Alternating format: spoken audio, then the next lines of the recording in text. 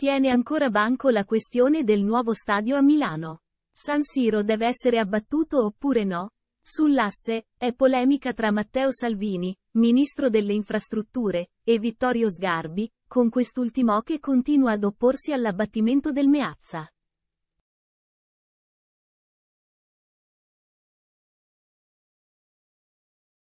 Ora, sulla vicenda, scende in campo anche il presidente del Senato, Ignazio La Russa, che prova a fare chiarezza in questa giungla di vincoli.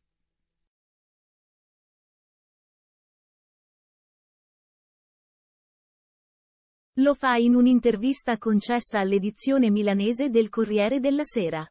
In primis gli chiedono conto del fatto che Sgarbi ha ribadito che gli sarebbero state conferite le deleghe per decidere se porre un vincolo su San Siro oppure no.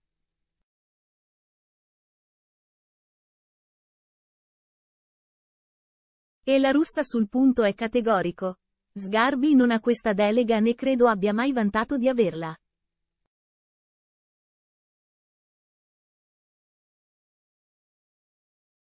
Se lo avesse fatto avrebbe sbagliato. Per carità, tutti possono esprimere la propria opinione, e pur essendo molto amico di Vittorio debbo dire con chiarezza che non ha alcuna voce in capitolo sullo stadio.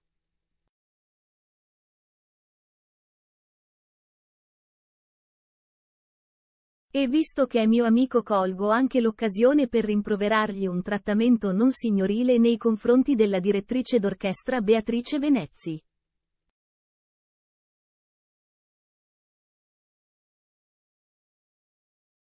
Dunque, ancora più netto.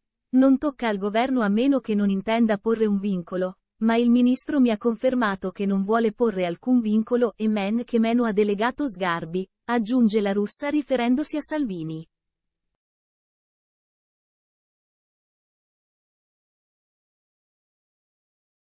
Quindi, il Presidente del Senato ricorda, in verità, a parte Sgarbi, nessuno ha mai parlato né immaginato di apporre alcun vincolo.